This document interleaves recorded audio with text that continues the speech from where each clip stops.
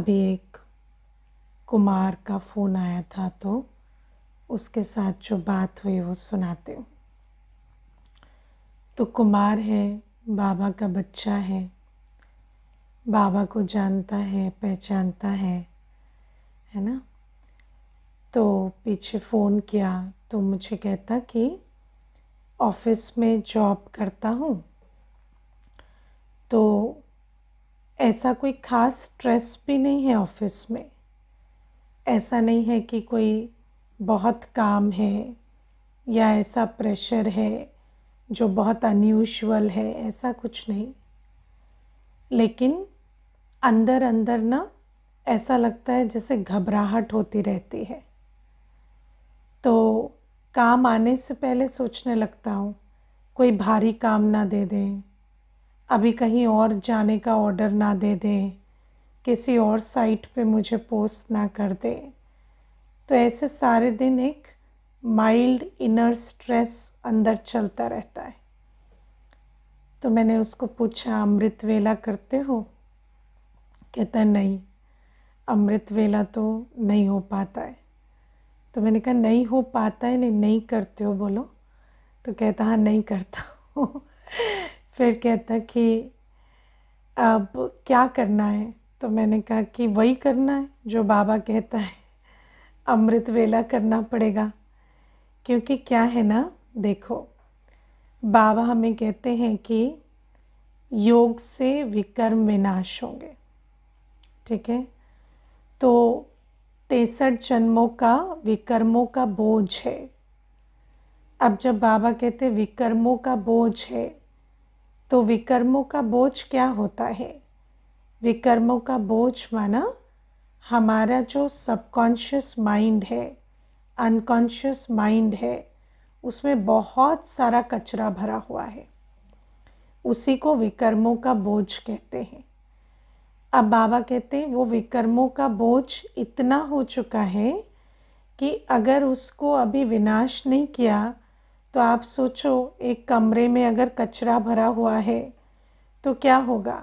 अगर आप उसकी सफ़ाई नहीं करेंगे तो धीरे धीरे वो कचरा बदबू पैदा करेगा जर्म्स पैदा करेगा, और वो धीरे धीरे सारे वायुमंडल को दूषित करेंगे।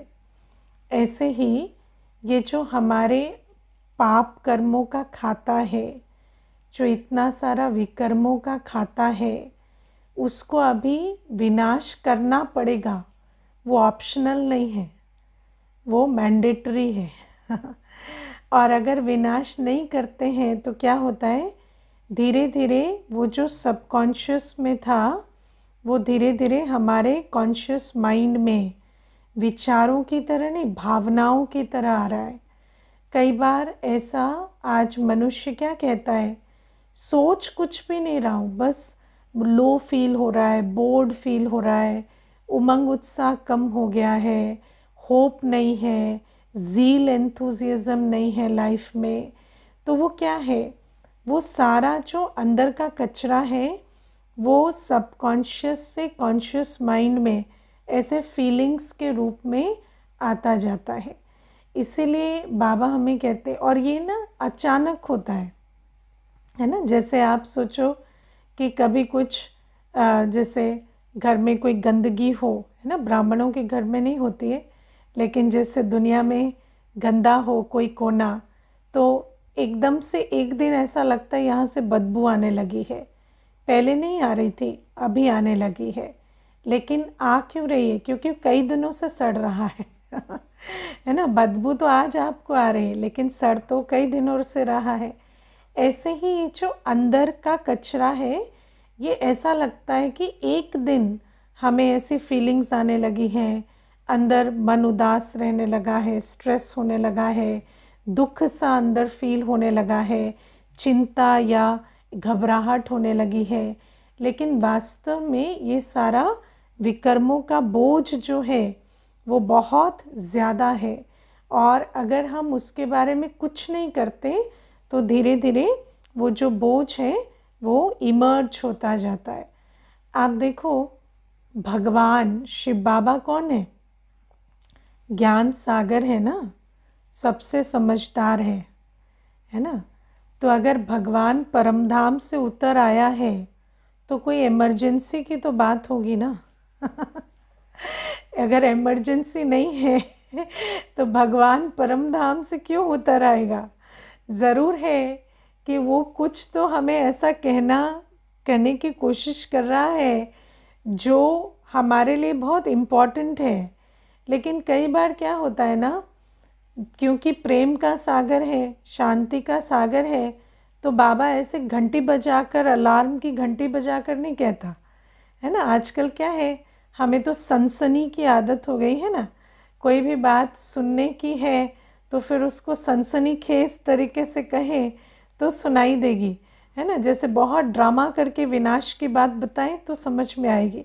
ऐसे कहें, विनाश आने वाला है, तैयारी करो तो समझ में नहीं आता, है ना? क्योंकि अलार्म बेल ना बजाओ तो आजकल बुद्धि में बैठती नहीं है बात। अब बाबा तो हमें प्यार से कह रहे हैं, लेकिन प्यार से कह रहे हैं, इसका मतलब ये थोड़ी है कि बात इम्पोर्टेंट नहीं है। बात तो बहुत इम्पोर्टेंट है। बात तो इमरजेंसी की है। अब देखो, जैसे अभी जैसे पॉलिटिकल सिचुएशंस होती हैं कई बार तो पॉलिटिकल सिचुएशन जब गवर्नमेंट को समझ में आता है कि अच्छा कोई चीज़ अभी करनी बहुत ज़रूरी है तो सरकार क्या करती है? एक ऑर्डर निकाल देती है ना? कि इस जगह पर खाली कर दो, या यहाँ आ जाओ, या ये चले जाओ, या यहाँ ज़रूरत है ऑर्डर निकाल देती है। अब व्यक्ति क्या सोचता है?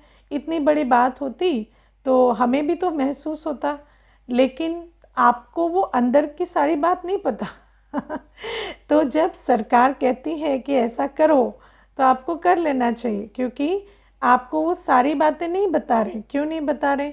क्योंकि ज़बरदस्ती वो जो आत्मा के अंदर घबराहट डर है ना एक आ, एक क्या कहें एनवायरनमेंट कैसा बन जाएगा? डर का बन जाएगा। इसलिए सारी बातें ऐसे डिटेल में नहीं बताई जाती, क्योंकि हैंडल नहीं होंगी। लेकिन अगर एक आत्मा समझे, है ना, व्यक्ति समझे कि अच्छा गवर्नमेंट कह रही है तो उसको सुनना चाहिए, उस बात को करना चाहिए तो करेंगे तो फ़ायदा होगा। अब आप सोचो, ऐसे ही ईश्वरीय गवर्नमेंट है है ना, भगवान है, स्वयं शिव बाबा है। स्वयं शिव बाबा परमधाम से आकर हमें कहते हैं कि रोज़ उठो और अमृत वेले, मेरी अच्छी याद में बैठो, है ना? तो बड़े प्यार से कहते मीठे बच्चे, मुझे याद करो। हम कहते अच्छा प्यार प्यार में कह रहे हैं, सुनना थोड़ी है बाबा को, है ना? क्या ज़रूरत है हमें उठ के बैठने की? बाबा ने प्यार से कह दिया, हमने प्यार से सुन लिया, हो गया काम, लेकिन ऐसे तो नहीं चलेगा। तो बाबा हमें कहते हैं कि जब भगवान त्रिकालदर्शी बाप कोई बात कह रहे हैं तो उसका महत्व हमें समझना है। वो कहे प्यार से रहें, कहे शांति से रहें, लेकिन अगर नहीं सुना तो फिर उसके जो कॉन्सिक्वेंसेस आएँगे, वो देखने पड़ेंगे, है ना? इसीलिए बाबा हमें कहते हैं कि हर एक बच्चे को अभी रियलाइज़ करना पड़ेगा, ज्ञान से रियलाइज़ करना पड़ेगा, क्योंकि अगर ज्ञान से रियलाइज़ नहीं करेंगे तो जब पाप का खाता सामने आ जाता है, बीमारी के रूप में कोई व्याधि के रूप में, आजकल तो मानसिक रोग के रूप में बहुत ही पाप का खाता सामने आता है। और एक बार आ जाए तो फिर क्या करेंगे? है ना? फिर तो कुछ नहीं कर सकेंगे। तो बाबा इसीलिए कहते कि अभी जब मन बुद्धि अच्छा काम कर रहा है तो इस समय पर उठकर मुझे याद करो, विकर्म विनाश करो। और मैं आपको बताऊँ, अनुभव से बताती हूँ, क्योंकि हम भी बाबा के बने तो कोई पहले ही दिन से तो अमृत वेला उठ के नहीं बैठने लगे ना? तो हमें भी टाइम लगा। तो जब हम बाबा के बने, सुना अमृत वेला करना है करना है तो सुनते थे। सोचते थे हाँ करना है। लेकिन ऐसा नहीं समझते थे कि ये बहुत ज़रूरी है या इससे बहुत फ़र्क पड़ जाएगा। कभी कभी तो ऐसा भी सोचते थे, बहुत ओवर रेटेड है ना ये अमृत वेला बीकेज में?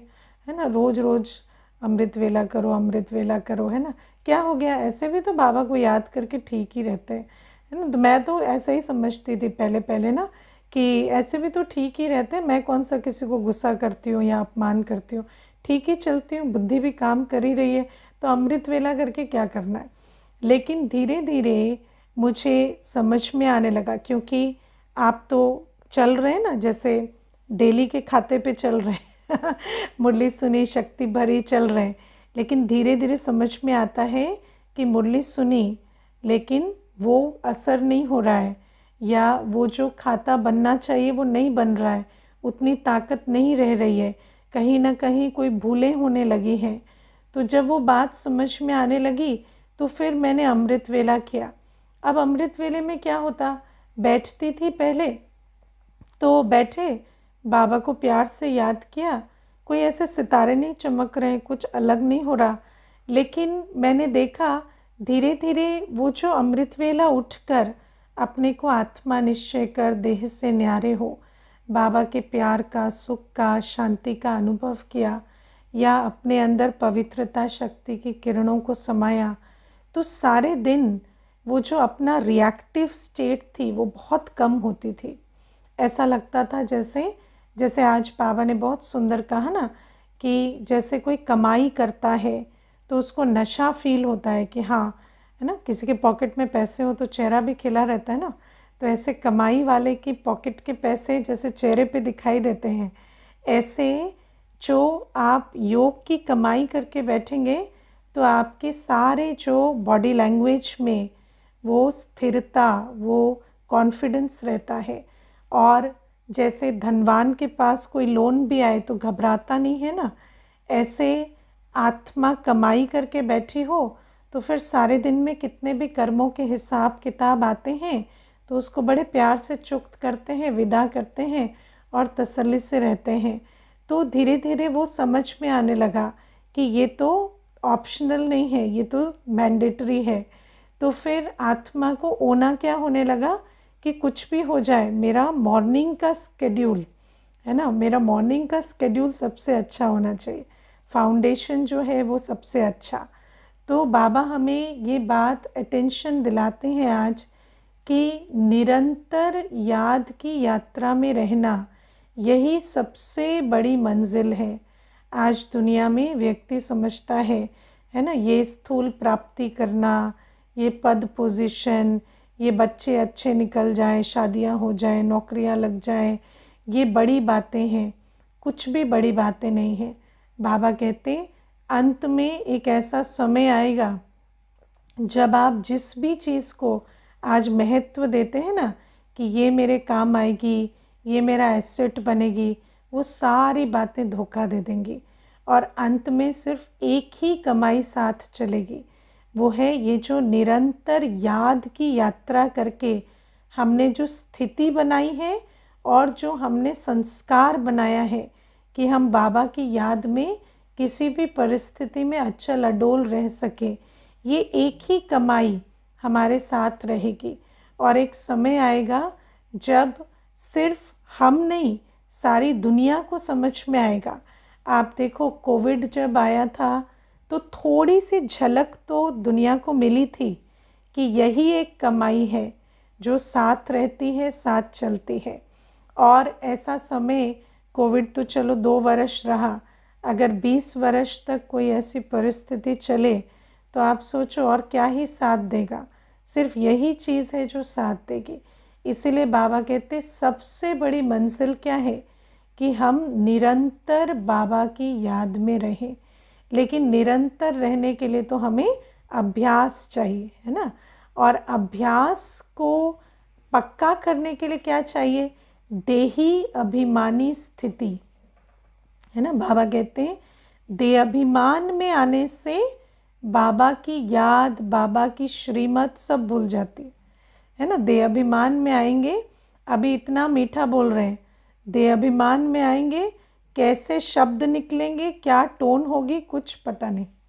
है ना? दे अभिमान में आते हैं तो बाबा की सारी श्रीमत भूल जाती है, बाबा की याद तो छोड़ो चली ही जाती है, लेकिन बाबा की श्रीमत भी सारी भूल जाती है। और दे अभिमान माना ये जो पुराने संस्कार जो हमारे अंदर है ना, वो सारे देहाभिमान के आधार से जागृत होते हैं।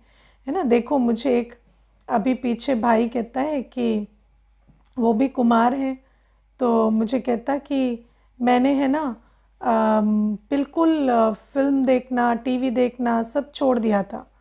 फिर अभी शुरू हो गया। तो मैंने कहा, क्यों शुरू हो गया? तो कहता है, वो बहुत अच्छी मेरी फेवरेट फ़िल्म आ गई थी। तो उसको मैंने, फिर वो आजकल ऐसे नहीं है ना दीदी कि खाली टीवी पर आई। वो तो अभी वो ओ टी टी प्लेटफॉर्म पर है तो बार बार मुझे आता, एक देख लेता हूँ, एक देख लेता हूँ, है ना? एक बार देख के ख़त्म हो जाएगी, तीन घंटे में ख़त्म, उसके बाद फिर नहीं देखूँगा, फिर छोड़ दूँगा। तो ऐसे करके वो इतना खींची, वो कहता, मैं तो खा नहीं पा रहा, सो नहीं पा रहा, मेरी खाली बुद्धि उधर ही जा रही। है ना? तो आप देखो, ये देहाभिमान के संस्कार कैसे होते हैं जिसने व्यर्थ देखने का संस्कार बनाया है, वो संस्कार उसको ऐसे खींचता है। है ना? आप देखो, व्यर्थ सुनने का संस्कार, व्यर्थ देखने का, जवाब देने का संस्कार, है ना? मानो आपको दे अभिमान में आपने संस्कार बनाया कोई आपको एक कहे तो मैं चार कहूँ।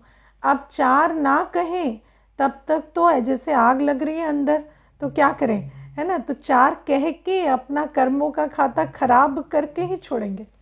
है ना? या दे अभिमान की आदतें जितनी भी वे क्रोध की बनाई है, चाहे विकार की बनाई है, ना, काम विकार की भी आदतें बनाई है, लोभ की बनाई होगी तो जब तक दो थाली भर के खा नहीं लेंगे, तब तक मन शांत नहीं होगा। अब आप सोचो कि कितना भी खा लिया, या कितना भी, है ना, शॉपिंग करने की किसी ने बनाई है किसी ने गुस्सा करने की बनाई, किसी ने सोने की आदत बनाई है तो बार बार वो दे अभिमान जो है, वो ट्रिगर होता है, फिर वो उसी आदत से शांत होता है। तो बार बार आप क्या कर रहे हैं? पहले डैमेज फिर डैमेज की रिकवरी के लिए वो दे अभिमान की आदत, इस प्रकार से वो साइकिल चलता ही चला जा रहा है है ना? या फिर अटैचमेंट जब तक सामने वाले के साथ पूरा लड़ झगड़ कर चार पाँच दिन खराब कर कर फिर सॉरी सॉरी कर कर, रो, कर, साथ नहीं रह जाएँगे। तब तक वो दे अभिमान की आदत ऐसी है कि हाथ पैर कांपते रहेंगे। मुझे एक माता कहती थी, युगल के साथ झगड़ा हो जाता है तो हाथ पैर कांपते हैं। है ना? तो हाथ पैर कांपते हैं जब तक दोबारा बात नहीं हो जाती। तो ये सब क्या है? ये सब हमने आदतें बनाई हैं। और इसमें क्या है? इस सारी आदतों में हमारी स्थिति, हमारे बोल, हमारे कर्म सब खराब होते जाते हैं। जैसे ही वो बात होगी, वो देहाभिमान ट्रिगर होगा। इसलिए बाबा कहते हैं, बहुत पुरुषार्थ करना पड़ेगा, देही अभिमानी स्थिति बनाने का। एक छोटी सी चीज़ इसमें समझनी है। देखो, जैसे अभी पेट है, उसमें आप कुछ भी डालेंगे, है ना? कुछ भी डालेंगे तो उसका असर तो होता है ना है ना? कोई भी चीज़ मुख के द्वार से पेट तक जाएगी तो उसका असर होगा। आप जो भी मुख से खाएँगे, उसका आपकी गट हेल्थ पर या पेट की हेल्थ पर असर होगा। शारीरिक हेल्थ पर असर होगा। अब क्या है? व्यक्ति कहे, मैंने तो बस ये थोड़ा सा, ये थोड़ा सा, ये थोड़ा सा खाया था, लेकिन उससे तो पेट को तो असर हो रहा है।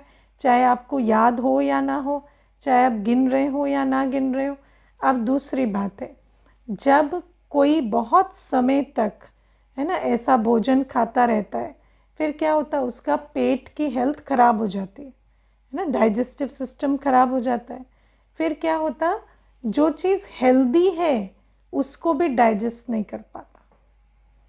होता है कि नहीं? जो चीज़ हेल्दी है, देखो, मैंने ऐसे केसेस देखे हैं एक, वो भी कुमार था, आज सारे कुमार ही याद आ रहे हैं ना। तो एक कुमार था, उसने कॉलेज में रहकर इतना कोल्ड ड्रिंक पिया कि उसका पूरा पेट डैमेज हो गया। और कोल्ड ड्रिंक माना पानी की तरह उसने कोल्ड ड्रिंक पिया, सिर्फ़ कोल्ड ड्रिंक पिया, पानी नहीं पिया। तो ऐसे पी पी के उसका पूरा पेट खराब हो गया। उसके बाद उसको कहते थे ना, फ्रूट खाओ या ड्राई फ्रूट खाओ या कुछ हेल्दी खाओ तो वो उसका पेट डाइजेस्ट नहीं कर पाता था। है ना? तो आप सोचो, मनुष्य की बॉडी भी अगर आप उसका सम्मान नहीं करते, उसको हमेशा जो नए अखाद्य है वो देते जाएँगे तो जो खाद्य है उसको स्वीकार करने की उसको ताकत नहीं होती। अब आत्मा का भी हाल कुछ ऐसा ही है। आत्मा को यदि व्यर्थ और विकारों में मन बुद्धि को खूब लिप्त रखेंगे, है ना? ये जो इंद्रियाँ हैं, आँख, कान, नाक, मुख, त्वचा, इसको अगर पुरानी दुनिया में देखना, सुनना, भटकना, संबंध, संपर्क, यही चलता रहेगा। और ये जो मन बुद्धि है, ये सब इस पुरानी पतीत दुनिया में सारे दिन बिज़ी रहेंगे तो धीरे धीरे आत्मा की जो स्पिरिचुअल हेल्थ है, वो इतनी खराब हो जाती है कि फिर उसको जो ज्ञान है, वो सुनाई नहीं देगा, धारण नहीं होगा। है ना? आप फील करते हो, कभी आप बहुत व्यर्थ विस्तार में रहे तो दो बार मुरली सुन चुके हैं, पर एक भी पॉइंट याद नहीं रहता। है है ना? इतना व्यर्थ विस्तार में रहेंगे ना तो मुरली सुनेंगे भी, पर याद नहीं रहेगी। क्यों? क्योंकि जैसे बॉडी की रिसेप्टिविटी ख़त्म हो जाती है ना, ऐसे आत्मा की भी रिसेप्टिविटी ख़त्म हो जाती है।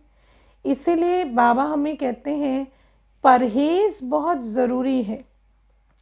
आत्मा अगर इंद्रियों को, इंद्रियों का कनेक्शन आत्मा से है, मन बुद्धि का कनेक्शन इंद्रियों से है है ना? जो आप देखते हैं सुनते हैं, संबंध संपर्क में जिस प्रकार के बोल बोलते हैं, कर्म करते हैं, वो सारे का असर कहाँ आ रहा है? जो खाते पीते हैं, वो सबका असर कहाँ आ रहा है आत्मा पर?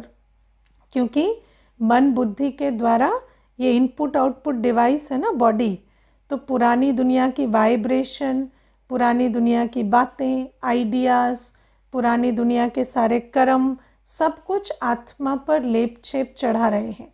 अब आप चाहे जान कर करें अनजाने करें, लेकिन हर एक चीज़ जो हम सुन रहे हैं हर एक चीज़ जो हम देख रहे हैं हर एक चीज़ जो हम खा रहे हैं, हर संबंध में आ रहे हैं, हर बोल जो बोल रहे हैं, सबकी वाइब्रेशन है और वो वाइब्रेशन आत्मा को असर डालती रहती है। है ना? ऐसा नहीं है कि आप कोई चीज़ सुनते हैं, उसका असर नहीं हो रहा, देखते हैं, उसका असर नहीं हो रहा। इसीलिए तो आज आप देखो, ये जो फ़ोन आने के बाद, ये जो माइंडलेस व्यूइंग है ना मतलब क्या हो गया आज? फ़ोन सामने है और चल रहा है और व्यक्ति को ये भी नहीं पता वो क्या देख रहा है, लेकिन वो देख रहा है। अब आप चाहे जाने ना जाने, लेकिन जो आप देख रहे हैं, वो अंदर असर डाल रहा है। है ना? और जो प्योरिटी है आत्मा की, उसको डैमेज कर रहा है। हर शब्द, हर दृश्य, हर संबंध, संपर्क, हर कर्म, चाहे हम बोल रहे हैं, सुन रहे हैं, जो भी कर रहे हैं, वो सब आत्मा को असर डाल रहा है और उसकी प्योरिटी को ख़त्म कर रहा है। और जैसे जैसे प्योरिटी ख़त्म होती है, आत्मा के अंदर पवित्र ज्ञान सुनकर धारण करने की या परमपिता परमात्मा की याद में रहने की जो कैपेसिटी है, वो ख़त्म होती जाती है है ना? इसीलिए तो आप देखो, मैं ऐसा नोटिस करती हूँ, ऐसे भी भाई बहनें हैं जो पाँच छः दस वर्षों से ज्ञान में चल रहे हैं। अब ऐसा तो नहीं है कि मुरली नहीं सुनी है या कुछ, मुरली भी सुन रहे हैं, क्लास में भी आ रहे हैं, सब कुछ कर रहे हैं। लेकिन छोटी छोटी बातें भी अभी तक समझ में नहीं आई है। कहो कि सृष्टि चक्र समझा दो, नहीं समझा सकेंगे। सीढ़ी का चित्र समझा दो, नहीं समझा सकेंगे। आत्मा के सात गुण भी ठीक से याद नहीं रहते, है ना? या कोई और बात पूछो तो पता नहीं रहता क्यों? कि सारी दुनिया की बातें आपको याद रहती है। ये वाली बात धारण क्यों नहीं होती? या क्वेश्चंस भी जो हैं, मोह के ऊपर या विकार के ऊपर आज भी क्वेश्चन उठते हैं। क्यों उठते हैं? धारणा क्यों नहीं होती ज्ञान की? क्योंकि ये जो आत्मा है, वो इतनी पतीत बन रही है और अभी भी पतीत पतीतपना छूटा नहीं है, परहेज नहीं कर रहे हैं। अभी भी दोनों चल रहा है है ना? अभी भी ज्ञान भी सुन रहे हैं और इधर का भी सारा जो विकारी दुनिया के साथ लेन देन भी पूरा चल रहा है। आज बाबा ने कहा ना कि अगर ब्रह्मचर्य में नहीं रहते तो फिर ज्ञान की धारणा नहीं होती। लेकिन देखो, बाबा जब मुरली चला रहे थे, उस समय पर तो ब्रह्मचर्य में सिर्फ़ काम विकार की बात है है ना? लेकिन आज तो दुनिया के पतीतपना नेक्स्ट लेवल पे है। है ना? आप सोचो, हम भी जब छोटे थे तो एक विकारी चित्र हमें कब दिखता होगा? साल में एक बार, है ना? कभी कोई विकारी चित्र देख लेते होंगे। आज तो जब से ये फ़ोन आया और इंटरनेट शुरू हुआ है, तब से तो बुद्धि को, मन को, इंद्रियों को दूषित करने की सामग्री ऐसे फ्री हो गई, है ना? और ये जो फ्री सब कुछ जो ये कंटेंट चलता है तो आप सोचो कि आज हमारा जो ब्रह्मचर्य है वो क्या है? है ना? सिर्फ़ इंद्रियों की, सिर्फ़ ये थोड़ी है कि विकार में गए, लेकिन बाकी भी तो आप देखो ना, मन बुद्धि का क्या हाल हो गया है आज?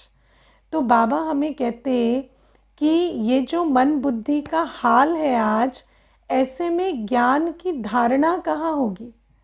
है ना, ज्ञान सुनते भी हैं तो भी ज्ञान के आधार से संकल्प चले, वृत्ति बने, कर्म हो, हम ज्ञान स्वरूप बने, या हमारे जीवन में हर अंग में पवित्रता की धारणा हो, वो कितना मुश्किल हो गया। मुझे याद है, हम बहुत सालों पहले आई थिंक छः सात वर्ष या आठ वर्ष पहले की बात होगी तो एक बड़ी डिग्निटरी थी, उनको हम मधुबन लेकर गए थे। तो उस समय पर विमेन ये जो वायलेंस अगेंस्ट विमेन है ना, ये जो मॉलेस्टेशन की बातें हो रही थी कि इस प्रकार की जो घटनाएँ होती हैं मॉलेस्टेशन की, वो क्यों होती हैं और उसका कारण क्या है? तो वो आठ वर्ष पहले वो जो बहन थी, वो दुनिया की अनुभवी जो दुनिया के हिसाब से बता रही थी कि आजकल व्यक्ति चाहता है तो दस रुपये देता है और फ़ोन में एक गंदी चीज़ डलवा लेता है, उसको देखता है, उसकी बुद्धि दूषित होती है तो फिर जो बुद्धि दूषित होगी वो कर्मों में तो आएगी, है ना? तो आप सोचो, मुझे याद है, आठ वर्ष पहले मैं उस कॉन्फ्रेंस में जब बैठी थी तो मैं सोच रही थी कि एक आत्मा एक चीज़ देखती है तो उसकी बुद्धि पर कितना असर होता है? फिर उसके कर्मों में कैसे वो आती है? और किस प्रकार से समाज में इस प्रकार की बातें फैलती हैं? और मैंने जब उस बात को पहली बार सुना था तो मुझे एक रियलाइजेशन सी हुई कि सच में ये बातें कितनी बड़ी हैं। लेकिन आप सोचो, उस समय तो आपको दस रुपये देने पड़ते थे ना? आज तो दस दस रुपये भी नहीं देने पड़ते। आज तो फ्री में। आज तो हर जगह पर फ्री और वो भी दस रुपये देकर आप एक चीज़ डलवाते थे। आज तो वैरायटी बूफे लगा हुआ है। है ना? तो आप सोचो रिसर्च कहती है कि जितना इंटरनेट पर गंदगी कंज्यूम होती है उतना कुछ भी कंज्यूम नहीं होता। तो आप विचार करो कि आज मनुष्य की हालत कैसी हो गई है। और ये जो ब्रह्मचर्य की बात है जो बाबा करते हैं मुरली में, आज वो सिर्फ़ इंद्रियों की बात नहीं है कि कोई काम विकार में फिजिकली गया, वो बात है ही नहीं। आज तो आत्मा की जो सारे दिन ये कांस्टेंट देखना, सुनना, सारे दिन ये जो पुरानी दुनिया के साथ हमारी एंगेजमेंट है, ये हमारी बुद्धि को इतना पतित, इतना भ्रष्ट कर देती है कि वो आत्मा जब ज्ञान सुनती है तो ज्ञान ऐसे यहाँ दरवाजे से हट के चला जाता है है ना? तो बाबा हमें कहते हैं, इसीलिए, और इसीलिए तो कहते हैं ना लास्ट जो आत्माएँ लास्ट में आएँगी, वो last so fast so first जा सकती हैं, या फिर वो लास्ट में आई तो लास्ट में ही रह सकती हैं, है ना? तो अगर इस समय पर आप सोचो, एक तरफ़ जैसे एग्ज़ाम होते हैं तो कहते हैं ना पेपर टफ है तो कंपटीशन कम है। अगर आप अच्छा पढ़े हैं तो पेपर टफ है तो कंपटीशन कम है और आप अच्छा पढ़ें तो बहुत अच्छा नंबर ले सकते हैं। और पेपर इजी है तो कंपटीशन ज़्यादा है। तो इस समय पेपर टफ है, लेकिन कंपटीशन भी इजी है। क्योंकि अगर इस समय पर हम थोड़ा अटेंशन दें और हम अपनी जीवन को मर्यादा में चलाएँ हम अपनी इंद्रियों को थोड़ा साधें और हम बाबा ने जो हमें दिनचर्या दी है, सुबह योग की, मुरली और फिर मुरली का रिविज़न मंथन, है ना? सिर्फ़ क्लास तो अटेंड करते हैं, पर बाकी भी सारे दिन हमारी बुद्धि में आज सार में क्या कहा, आज प्रश्न उत्तर में क्या कहा बाबा ने, आज क्या क्या पॉइंट्स थी मुरली में, आज वरदान में क्या कहा उसके ऊपर कुछ ना कुछ हम चिंतन मंथन करते रहें और कर्म योगी बनकर चलें, है ना? कर्म योगी बनकर चलें, बेहद की दृष्टि वृत्ति के साथ अगर हम सारे दिन चलें तो आज हमारे लिए मंजिल बहुत इजी भी है। तो बाबा इसलिए हमें कहते हैं कि अंत में आते हैं तो लास्ट सो फास्ट भी जा सकते हैं या फेल भी हो सकते हैं। अब आप देखो, आज बाबा ने बहुत अच्छी हमें एक बात कही, बेहद की वृत्ति, है ना? बेहद की वृत्ति रखो। जैसे बाबा कहते हैं कि भले हम बच्चे जो हैं, रहते तो हद में है ना? रहते तो हद में हैं। एक शरीर में, एक घर में, एक नौकरी करते हैं, चार बच्चों को संभालते हैं, है ना? या चार आत्माओं के निमित्त रहते हैं। तो ये हद में रहते हैं। लेकिन हमारी वृत्ति अगर सदा बेहद की है है ना? भोजन बना रहे हैं तो ये नहीं सोचना है, बस चार लोगों का भोजन बना रहे। नहीं, सारे विश्व का पेट भर रहा है ना? अन्नपूर्णा हो ना आप? तो अन्नपूर्णा भोजन बनाएगी तो सारे विश्व का पेट भरेगा। तो संकल्प के साथ भोजन बनाना है। याद में बैठे हैं तो कोई हद का संकल्प नहीं, सारे विश्व को वाइब्रेशन दे रहे हैं। कोई भी कर्म कर रहे, एक संकल्प रच रहे, कल्याण का संकल्प, सारे विश्व की आत्माओं के प्रति रच रहे।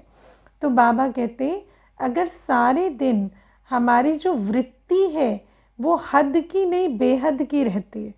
है ना? जैसे बाबा हमें कई बार कहते हैं, घर कल्याणी हो, या तुम एरिया के कल्याणी हो, या तुम शहर के कल्याणी हो, या राज्य के हो, या विश्व के हो। है ना? तो ये बात कहाँ की वृत्ति की, जैसे अभी आप देखो, क्लास हम कराते हैं तो अभी क्लास करा रहे हैं जूम पर, लेकिन सोच क्या रहे हैं कि सारी दुनिया में कोई भी सुनेगा ना यूट्यूब पर तो उसको भी रेलेवेंट होना चाहिए। तो वृत्ति बेहद की रखते हैं तो फिर वो जो बेहद की वृत्ति से बेहद बाबा टचिंग देता है, और फिर वो क्लास होती है। तो बाबा कहते, कभी ये नहीं सोचो हम एक को करा, दो दो को करा रहे मुझे याद है, जब हमने सेवा शुरू की तो उस समय पर मैं और संतोष भाई थे और तो कोई था नहीं। तो उस समय पर कोई आता भी नहीं था सेंटर पर, क्योंकि नया नया सेवा थी। तो पहले तो टाइम लगता है ना जमने में। तो हम क्या करते थे, ऐसे पूरी कुर्सी लगाई हुई थी, है ना? ऐसे नहीं कि कुर्सी उठा के रख दी, क्योंकि कोई बैठा नहीं है। तो जितनी कुर्सियाँ मानो, उस समय पर छोटा हॉल था तो उसमें पंद्रह कुर्सी आ सकती है। तो पंद्रह कुर्सी प्रॉपर सजाते थे, सुबह साफ़ सफ़ाई करते थे और फिर एक कुर्सी पर सामने, है ना, भाई बैठे, मैं बैठी मुरली सुना सुनाने या रिवर्स, है ना, वो मुरली सुनाए, मैं बैठी और सुनाते फुल आवाज़ में थे। ऐसे जैसे कि, है ना, पूरी क्लास हो रही तो उस प्रकार से वो आह्वान किया तो फिर धीरे धीरे धीरे धीरे वो वृद्धि हुई। तो बाबा इसलिए कहते हैं कि कोई भी कार्य करते हो, करोगे हद में, लेकिन वृत्ति रखो बेहद की। और जैसे हम बेहद की वृत्ति रखते हुए हर संकल्प, हर बोल, हर कर्म करते जाएँगे ना तो उस बेहद की वृत्ति से, बेहद की सृष्टि, सेवा की रचती जाती है। तो बाबा इसीलिए हमें कहते हैं, एक तो हमें विकारी दुनिया से बहुत परहेज़ करना पड़ेगा पूरी प्योरिटी का ध्यान रखना पड़ेगा, है ना? हर इंद्री की प्योरिटी ब्रह्मचर्य माना ब्रह्माचारी, जैसे ब्रह्मा बाबा तन, मन, हर अंग से, जीवन के हर धन के कणे से पवित्र रहे, ऐसे हमें पवित्र बनना है। और पवित्रता के साथ साथ बाबा की जो दिनचर्या है, याद की, मुरली की, हर चीज़ पर, कमाई पर अटेंशन देना है और वृत्ति को बेहद का रखकर चलना है।